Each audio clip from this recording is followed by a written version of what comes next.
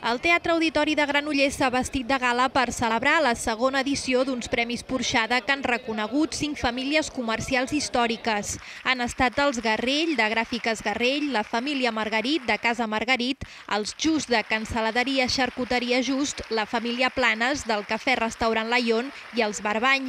Precisament Amadeu Barbany, al capdavant de la botiga Can Barbany, ha parlat en nom de tots ells en defensa del petit comerç. Tenim el món que consumim i moltes vegades, inclús quan venen visites, la Laura ho sabrà, la Montse que estan aquí, ens venien visites, doncs ens en donem compte que els propis botiguers, i en aquí us estiro tots una mica les orelles, no anem a comprar en el petit comerç.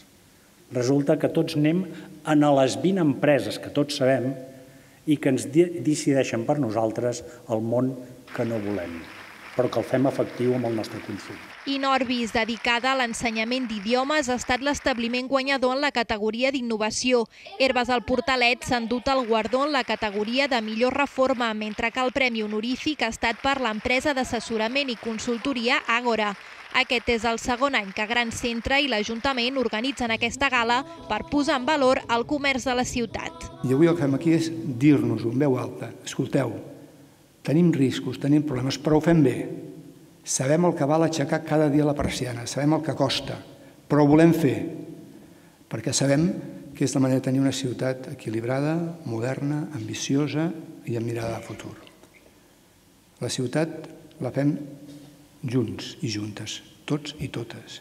I vosaltres, els comerciants, els botiguers, les botigueres, en sou uns protagonistes essencials.